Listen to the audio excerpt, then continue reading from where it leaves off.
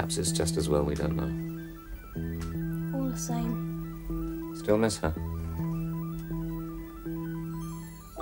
Did you get all that? Uh, yes, sir. The boy is going to stay at his aunt's while his parents are abroad. His father is going to Hong Kong on business. His wife is going with him for a holiday. Right. Thank you. Sit down. Uh, that means you'll be standing down the surveillance operation. No. It means we want him watched with extra special care. I suppose this is why you've been so interested in windmills lately. Suppose so, yes. Whose idea was it in the first place? Did Miss Soames suggest it? No. Just sort of came into my head. Have a nice time. I will, don't worry.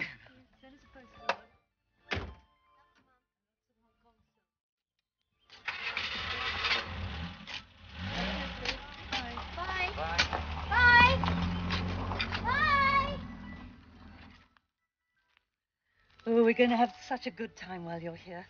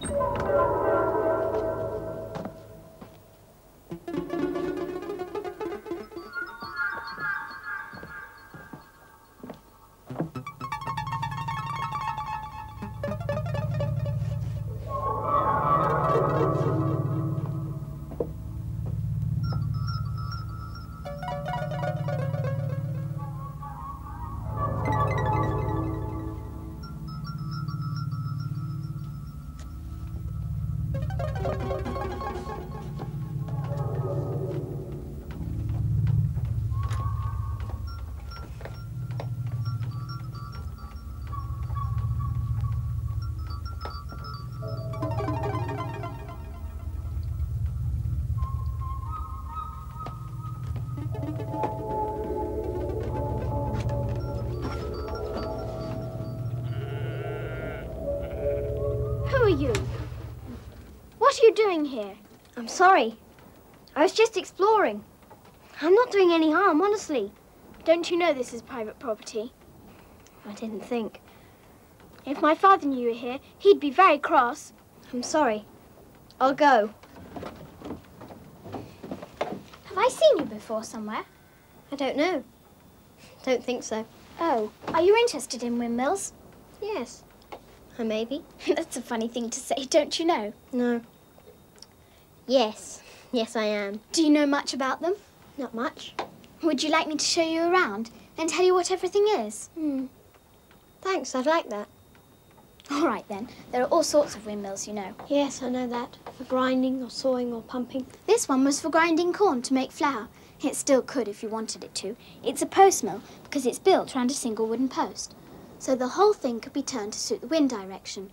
When the wind turns the sails, that turns the wind shaft there. Then that turns the brake wheel. That's the brake wheel there. And the tail wheel. The cogs in it are made of apple wood. Yes. The brake wheel is what drives all the machinery.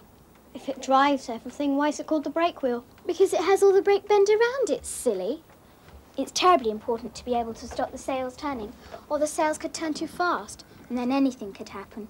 The whole mill could be smashed. The wind is a very powerful energy source. We don't make nearly enough use of it. It's not like coal, or oil, or gas. It never gets used up. No. This brake wheel turns the quant. Yes. I thought you didn't know about windmills. Don't really. It's the first time I've ever been in one. Hmm. Let's go down.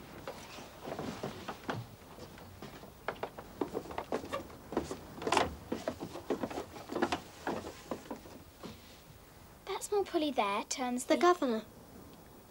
Yes, And that adjusts the space between the stones. yes.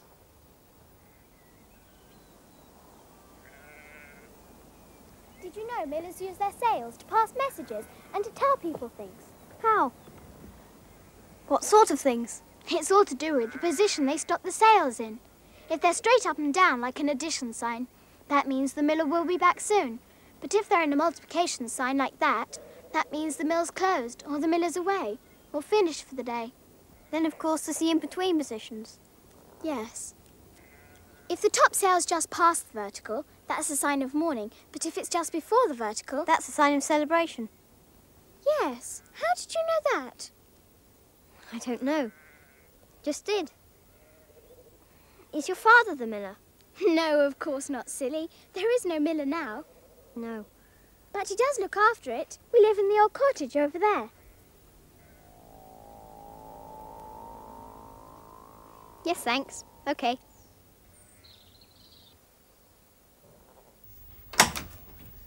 Here we are. Would you like some pop? Mm, yes, please. Matthew? Yes? How did you know my name? You must have. You haven't told me, have you? No. That's funny. I just guessed it, I suppose. Yes.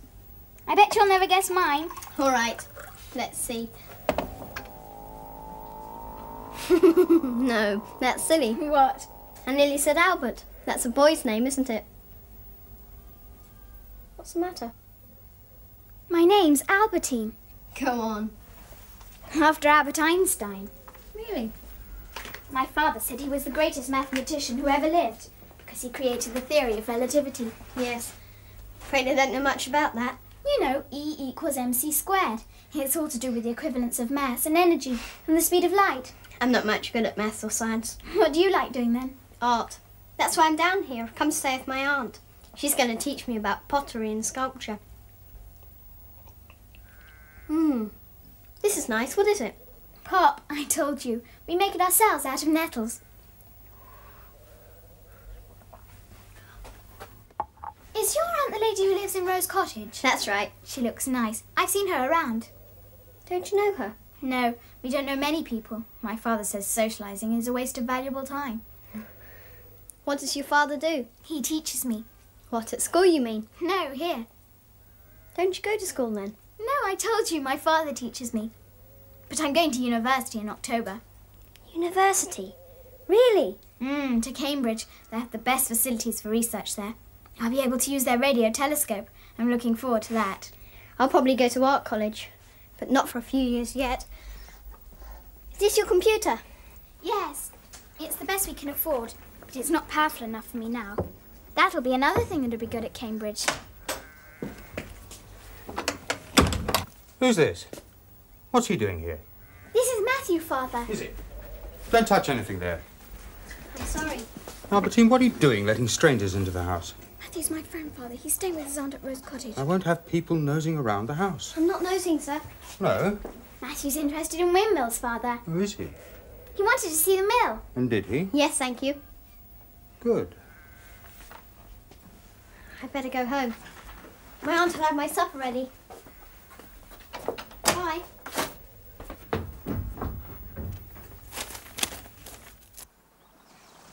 Yes, that's very good. I think perhaps those need thinning out, don't you? Yes, okay.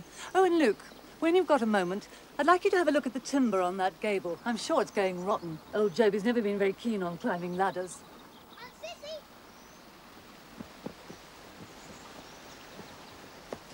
Hello. Hello. I was beginning to think you'd got yourself lost. I found a windmill. Oh, that'll be Dorrit's Mill. Goodness, did you go all the way up there? Yes, it's fantastic. Oh, I don't know. It's in pretty reasonable repair, but it's only an ordinary old post mill. No, no, I don't mean that. I mean, it's my windmill. Yours? Yes, one I keep sketching. One I keep seeing pictures of in my mind. It's amazing. What a coincidence. Come on, supper's ready. You go and wash your hands and do whatever you have to do, and I'll go and dish up. Hmm. Yes. I see exactly what you mean. It does look just like Dorrit's Mill. Isn't that super? Perhaps you're psychic. Wouldn't that be fun? Ah, now I like that. That's very good. I'm glad to see you've given the figure some weight. You're obviously seeing it in three dimensions. Good, good. I like the way you've got all the planes right. Hmm. Well, there's not much wrong with your line, young Matthew, and you've certainly got a very good eye. We'll try you on some clay modelling in the morning and see how you get on, okay? Yes, thanks. Unless you'd rather go fishing with Luke. Fishing? Well, he said he'd take you if you want to go. We've got a couple of old rods in the loft. Mm. That'd be nice. Rather do some modelling first. Well, I tell you what, why don't you spend the morning in the studio and then go fishing in the afternoon? This is supposed to be a holiday for you after all. Yes, I'd like that. Oh, goodness. Do you know how it all works? Yes. Albertine was telling me all about it this afternoon. Albertine? Oh, yes, the Meyer girl. Poor little thing. Why do you say that? That father of hers, he's a dreadful man, keeping her locked up all the time away from other children. I don't care how brilliant she is, a young girl needs the company of other children when she's growing up. Don't you think so? And he's always getting into trouble with the authorities for refusing to send her to school. Says he can teach her better himself. They even tried to put him in prison once. Mind you, she's only 12 and she's won a scholarship to Cambridge, so I suppose he's made his point. All the same, in my book, it's just as important to be a good human being. Life is for living, isn't that right? Oh, that's different. Trying your hand at abstracts, eh? Or is it more surrealist, perhaps? I don't know. It's just shapes. I'm Getting a bit tired now, Aunt Sissy. Can I go to bed? What? Oh, yes, of course, you must be. What can I be thinking of prattling on like this? I am sorry. I don't often get anyone as interesting as you to talk to, and when I do, I tend to get carried away. You hop up to bed, and we'll make an early start in the morning. Do you like your room? Yes, thanks. It's smashing. Sorry about the bars in the window. It used to be a nursery before I came here, and I never bothered to take them down. Doesn't matter. Don't mind them. Night, night. Night.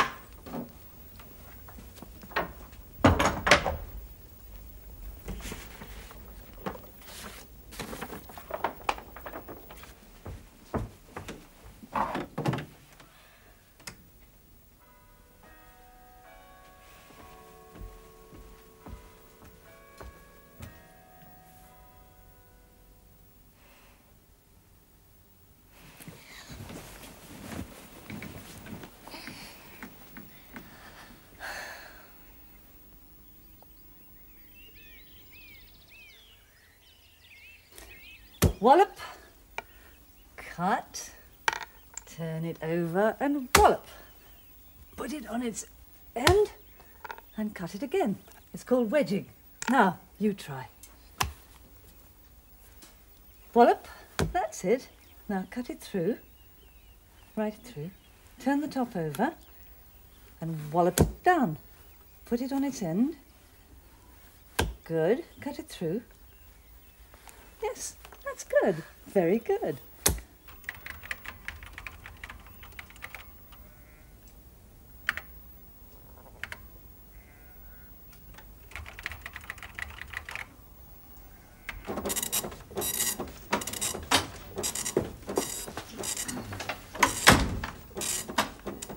What are you doing? Oh, Daddy, I was so bored. I know, I know. But you're not ready to start working again, not yet. I feel all right, honestly. You had one of those headaches yesterday, didn't you? Daddy, I told you. It wasn't like a headache. It was a sort of sound. of- Still a warning, though, my darling. Your brain is very precious, very special. We mustn't take any risks. Not yet. Not now. Go and do something else.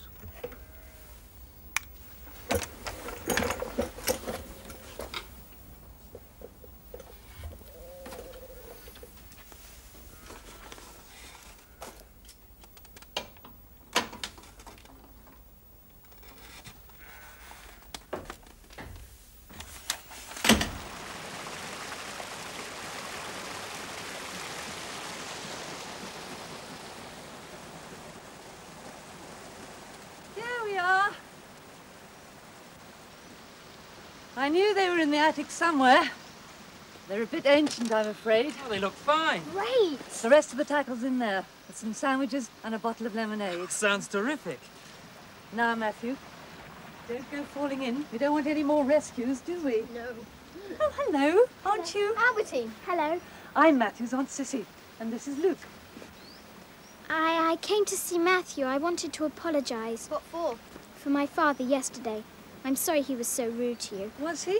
Well, never mind. I dare say he had a reason. You've only just caught Matthew. Oh, if you're going out. We're only going fishing. There's no rush. Luke's going to teach me. Would you like to come with us? oh, I don't know. I don't know anything about catching fish. Well, neither does Matthew, do you? Don't let that worry you.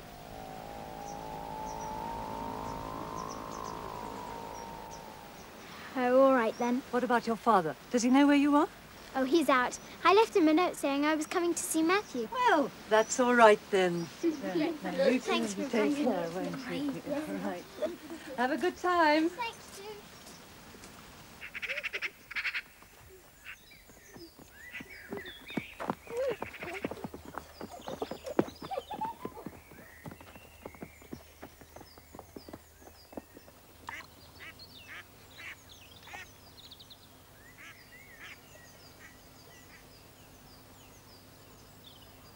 Luke, what are you reading at Oxford? What's your subject?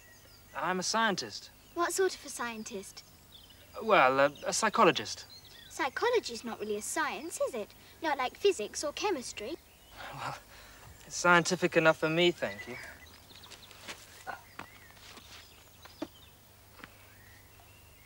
Albertine's going to be a scientist.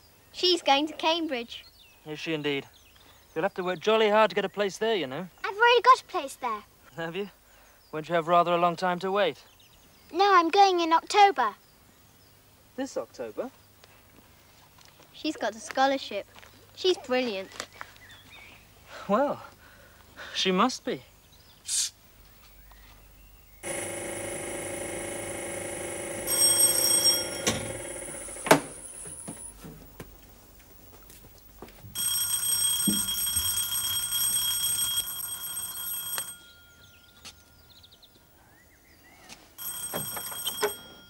I believe my daughter's here. Ah, you must be Mr. Meyer. Yes, I am. Where is she? I'm so glad to meet you. I've been looking forward to having a little chat with you. Come in and have a cup of tea. Uh, listen, I.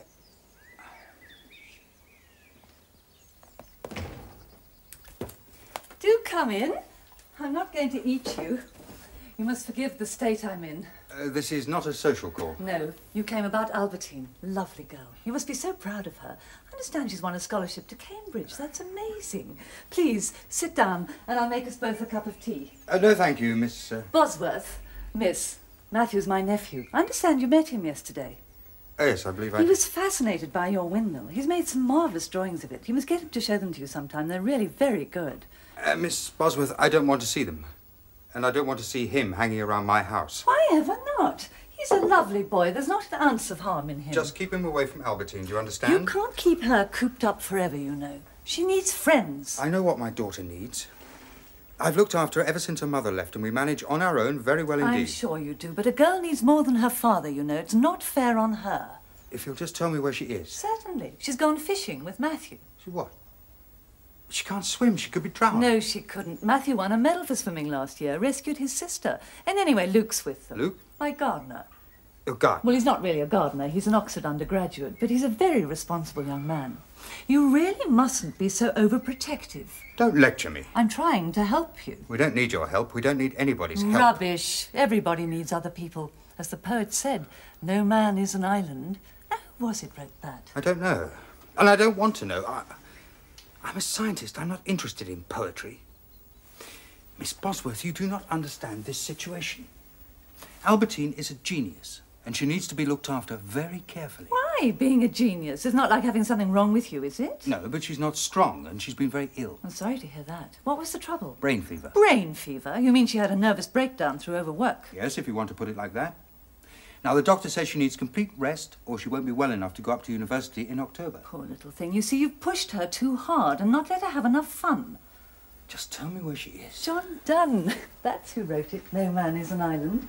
Now listen, Mr. Meyer. I've been thinking. Albertine's been ill, so what she needs is some occupational therapy. What are you talking about? Pottery, making pots. There's nothing like working with clay to soothe the troubled mind.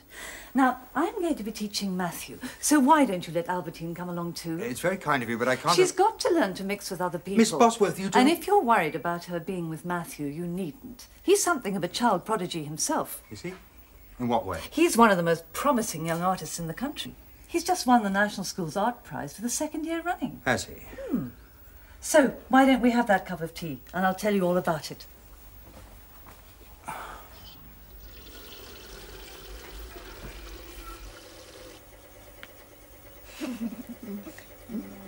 It's fun.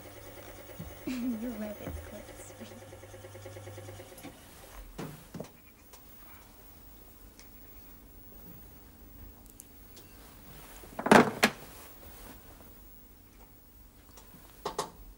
There.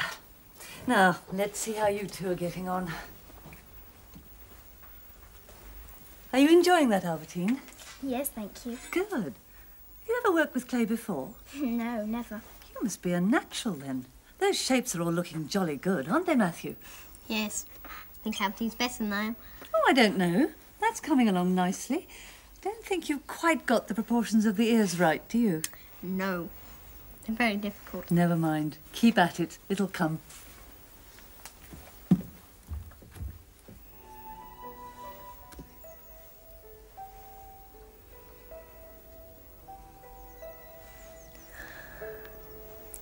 Chocky. What? Nothing. Where did you get that idea from? Nowhere, really. They're just shapes.